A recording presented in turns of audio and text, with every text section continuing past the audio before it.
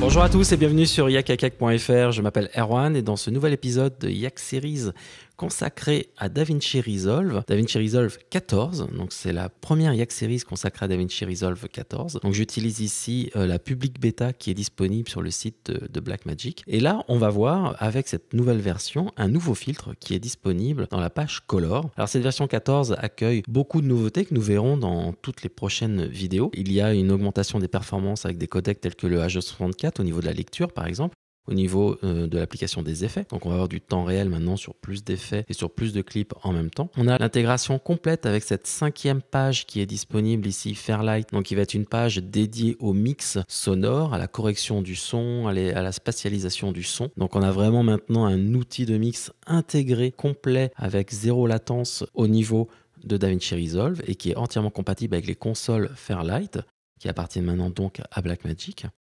Et donc, on va voir ici qu'il y a dans cette version numéro 14 euh, de nouveaux effets qui sont disponibles. Alors des effets GPU et des effets CPU, c'est-à-dire des effets accélérés avec la carte graphique et puis d'autres avec euh, le, processeur. Donc je vais ouvrir ici OpenFX, vous voyez ici. Et donc les effets maintenant s'appellent les Resolve FX. Donc on a les flous avec le blur, ici les différents blurs. On a Resolve FX Color, donc tout ce qui est euh, effet colorimétrique. On a euh, tout ce qui va être euh, générateur, donc par exemple, ça peut être des grilles, ça peut être des éléments des images avec des couleurs fixes ou des dégradés. on a des effets de lumière comme les glow, les lens flare et les light rays. Et puis on a les Resolve FX Refine. Alors il y en a plein d'autres, hein. mais je vais m'attarder en fait ici sur le, le Refine avec le Face Refinement ici qui va être un filtre qui va me permettre de faire de la retouche beauté, comme on dit dans, Photoshop, tout simplement. Donc je l'applique directement sur euh, mon nœud, comme ceci. Alors ce que je vais vous montrer ici, c'est le fait d'avoir différentes vues. Donc on a bien sûr la vue plein écran, donc qui est très pratique lorsqu'on travaille avec un laptop par exemple, ou avec un ordinateur mais à un seul écran. Euh, donc là, je vais pouvoir euh, visualiser mon clip, le jouer bien sûr en temps réel. Mais maintenant avec cette vue, ici, je vais pouvoir faire show scope. Et donc, je vais pouvoir, euh, comme ça, voir ici euh, mon clip. Alors, sachant que pour l'instant, ici, vous voyez qu'on ne le voit pas en lecture, mais ce qui peut être pratique ici, lorsqu'on a, par exemple, un pupitre d'étalonnage, on va pouvoir étalonner euh, sur l'écran en pleine définition directement, tout en visualisant les scopes. Vous voyez ici en overlay, et je peux déplacer bien sûr les scopes, choisir par exemple si vous voulez la waveform ici, je peux visualiser la waveform, vous pouvez avoir bien sûr l'histogramme et euh, le vectorscope que je vais sélectionner ici, euh, tout simplement. Donc ça, c'est assez pratique. Mais là, ce que je vais vous montrer ici, c'est la possibilité d'utiliser une toute nouvelle vue qui s'appelle, euh, qui n'a pas de nom en fait, mais qui permet en fait avec le Shift F d'afficher l'écran au maximum, le, moniteur au maximum dans l'interface de Resolve tout en gardant à droite l'inspecteur. Et donc on va avoir les paramètres, on va pouvoir ajuster les paramètres tout en ayant, vous voyez, un maximum de visualisation au niveau de, place, au niveau de l'image. Et ça, c'est assez pratique. Alors, concernant ce nouvel effet Face Refinement ici, je vais vous montrer euh, comment il fonctionne. C'est assez euh, magique euh, dessus. Parce que lorsqu'on fait de la retouche, normalement, il y a des zones qu'on doit protéger. Par exemple, on doit protéger les yeux. Parce que ce qu'on va faire, c'est qu'on va flouter la peau, en fait, enlever la définition de la peau pour la, flouter et l'adoucir, tout simplement. Et donc, on doit faire des masques. Donc, euh, la chance avec Resolve, c'est qu'on a un, outil de tracking planaire assez fort euh, et assez pratique. Donc, on, faisait des masques assez rapidement. Maintenant, on n'a même plus besoin euh, de faire de masques parce qu'il suffit de cliquer sur Analyze et automatiquement, il va retrouver en fait le visage dans vos clips et pouvoir analyser le mouvement du visage. Et donc, vous voyez, il repère structure du nez, les yeux, la bouche et euh, tout ce qui va être contour euh, du visage.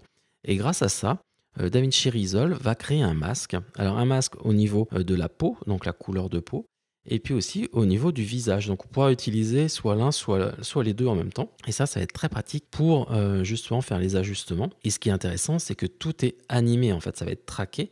Donc on n'a pas besoin de rajouter une analyse derrière de masque ou euh, des points clés pour bouger euh, des contours et autres.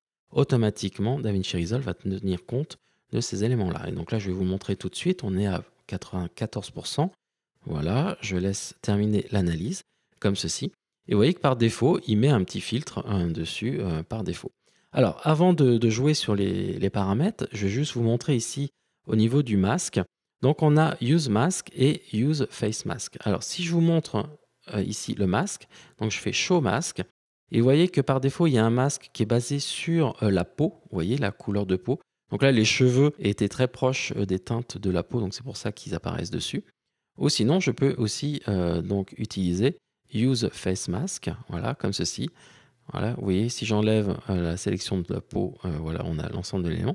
Mais en combinant les deux, je peux agir, vous voyez, uniquement ici sur le visage. Donc c'est assez pratique comme cela. Donc je vais demander à ne pas visualiser le masque et puis je vais demander à enlever ici Show Overlay. Voilà, je vais enlever l'élément. Alors l'overlay c'est très important parce que du coup ici euh, DaVinci va connaître en fait la position des deux yeux, du menton, de la bouche, euh, du nez pardon, euh, de la bouche et le contour du visage ici. Et donc lui il va mettre des limites automatiquement là-dessus. Ça je vais vous le montrer tout de suite. Voilà ici. Donc là, au niveau des paramètres, le premier paramètre qui intervient, c'est le smoothing ici. Vous voyez, c'est le fait de pouvoir euh, rajouter ici de la douceur au niveau de la peau. Alors vous pouvez aller fortement, mais du, coup, on perd pas mal d'informations. Alors après, vous pouvez revenir sur les détails, vous voyez, comme ceci. Redonner un petit peu de contraste euh, dans la matière. Donc on a pas mal joué dessus. Alors vous voyez, on peut voir avant-après. Mais ce que je vais faire ici, c'est limiter un peu le smoothing et surtout, voilà, garder un tout petit peu de détail au niveau de certaines rides. Voilà, comme ceci. Et vous voyez, à ce niveau-là, bah, je vais enlever du détail là-dessus pour garder juste un petit peu de détail comme ceci. Et puis après, bah, on va pouvoir jouer sur le contraste. Et le contraste, vous voyez, ça joue un petit peu sur les ombres. Donc soit on fait des ombres assez euh, poussées, vous voyez, comme ceci. Soit je peux diminuer euh, les ombres justement pour essayer d'atténuer encore plus l'élément. Donc ça, c'est c'est plus au niveau du look, vous voyez, comme ceci. Là, je vais demander peut-être en rajouter un tout petit peu. Voilà, comme ceci. Et puis ensuite, je vais pouvoir euh, jouer sur les valeurs de masque. Alors, les valeurs de masque, euh, je vais justement vous montrer ça avec les paramètres qui sont en dessous. Donc, les paramètres qui sont en dessous ici, que vous pouvez voir, euh, vont permettre d'ajuster certaines parties ou certaines sélections du visage. Par exemple, ici, j'ai Color Grading. Ça va me permettre de définir en fait la couleur de la peau et de jouer par exemple ici sur les tons, vous euh, voyez, euh, mid-tone. Donc soit je donne un côté un peu plus euh, bronzé, ou au contraire un peu plus vampire, vous voyez, comme ceci. Donc je vais pouvoir affiner ici, ça joue un petit peu sur le brightness, mais aussi sur la teinte, vous voyez, comme ceci. Hop, je vais ajuster comme cela. On va pouvoir mettre un petit boost au niveau de la couleur. Donc là, c'est bronzage intensif. Et vous voyez que le contour ici euh, de mon masque, je vais pouvoir l'ajuster dans les paramètres du masque qui est là. C'est-à-dire que je vais pouvoir ici agrandir la taille de mon masque et je vais pouvoir jouer sur la softness euh, voyez, du masque pour adoucir ou non. Alors si je vous montre avec le masque ici, vous voyez que je peux adoucir ici le contour et je peux demander voilà, à avoir un masque un petit peu plus précis, différent hop, comme ceci. Donc je vais pouvoir euh, jouer euh, là-dessus, voyez, ou euh, baisser un petit peu, comme ceci au niveau des détails, si on veut protéger par exemple certaines zones des yeux. Donc là, je suis allé un peu fort sur Color Boost. Donc vous voyez, là, on peut faire aussi un effet noir et blanc. Ça peut être un effet voulu. Par exemple, si je demande à pas utiliser, vous voyez, le masque du visage, et je peux demander à avoir un effet un peu plus noir et blanc, qui ne va pas agir, vous voyez, sur les yeux ni sur les lèvres, par exemple.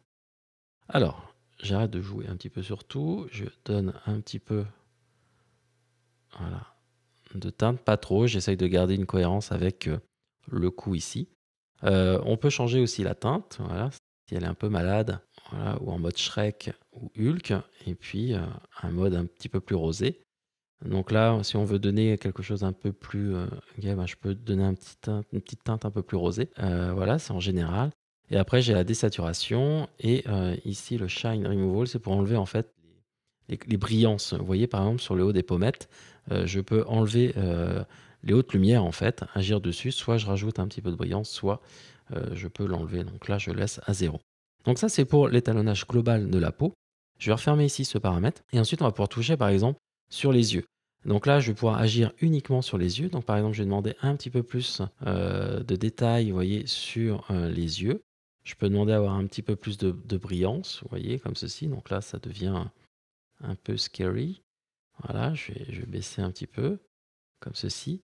On a ici highlight, donc c'est les lumières, le regard en fait. Donc si j'ai envie d'éclairer un petit peu le visage, je vais pouvoir le faire. Je vais baisser un petit peu la brightness des yeux, voilà comme ceci. Vous voyez ici, je peux baisser ou justement avoir ce petit masque. Souvent quand on rajoute, il y avait cet effet-là euh, assez euh, prononcé dans le Seigneur des Anneaux par exemple. Donc là, tout est automatisé, il n'y a pas besoin de faire le masque à la main. Voilà, je vais le faire un tout petit peu. Et puis le High Bag Removal, en fait, ce sont les cernes qui sont en dessous ici. Donc si euh, je le sélectionne ici, je ne sais pas si vous voyez, mais ça permet d'enlever un petit peu les cernes euh, qui sont en dessous, en fait les poches, euh, tout simplement, au niveau des yeux. Alors on va pouvoir continuer. Alors vous voyez que chaque partie, ben, maintenant j'ai les lèvres. Donc je vais pouvoir, par exemple, demander à augmenter un petit peu la saturation, vous voyez, des lèvres, ici. Si vous n'êtes pas content avec le rouge, ben, vous pouvez demander à changer la couleur, mettre, mettre du vert ou du bleu. Voilà, comme ceci. Là, je vais laisser un petit peu, je vais juste resaturer un tout petit peu comme ceci, laisser euh, ce coin un petit peu naturel. Et puis après, ben, ce qui est intéressant, c'est que vous avez le blush. Alors le blush, ça va permettre par exemple de roser un petit peu euh, les joues. Alors les joues, vous voyez, c'est ici, je fais exprès pour vous montrer les zones. Donc là, je vais pouvoir agir uniquement sur les joues et donc ben voilà, je voudrais faire un petit, un petit côté rosé ici. Puis bien sûr, ben, je vais diminuer euh, voilà, la saturation. Là, je suis peut-être allé fort, un peu fort sur le côté rosé. Mais voilà, comme ceci, pour donner un petit peu de jeunesse. Après, vous avez le forehead, donc ça, c'est le, front. Euh, les cheeks, donc ça, ce sont les joues. Et puis chin, donc ça, c'est le menton, par exemple. Je pourrais euh, jouer ici pour peut-être désaturer un petit peu ici le menton. Et puis peut-être quelque chose un petit peu plus rosé, voilà, comme ceci. Voilà, donc vous voyez, on peut, euh, et puis après on a le blend général qui va me permettre de créer un, fondu avec euh, l'ensemble euh, ici de, l'image originale, donc faire revenir l'image originale ou récupérer ici mon élément. Et comme ici tout est traqué, ben, ça va suivre automatiquement maintenant le regard dessus. Donc là, je suis allé un peu fort hein, sur, sur les corrections, ça se voit un petit peu qu'il y a de la retouche, mais globalement, vous pouvez voir avant et après euh, voilà, tout simplement au niveau du visage. Donc là, par exemple, au niveau des yeux, c'est peut-être un peu fort ici. Donc je vais juste remettre ça comme ceci. Peut-être enlever un peu refine mask, voilà, comme ceci. Et puis euh, peut-être baisser un tout petit peu le smoothing, voilà, comme ceci. Et donc voilà, maintenant on a le avant-après tout simplement. Et euh, ce qui est intéressant, c'est que, vous voyez, tout est traqué automatiquement. Donc voilà pour le Face Refine, un outil euh, assez euh, bluffant, je trouve, parce que tout est intégré directement, la gestion des masques, la gestion des différentes parties du visage dessus. Donc à vous de tester grâce à la bêta publique qui est disponible sur le site de Blackmagic. Et je vous donne rendez-vous dans de prochaines vidéos concernant toujours DaVinci Resolve 14. Ciao ciao, bye bye.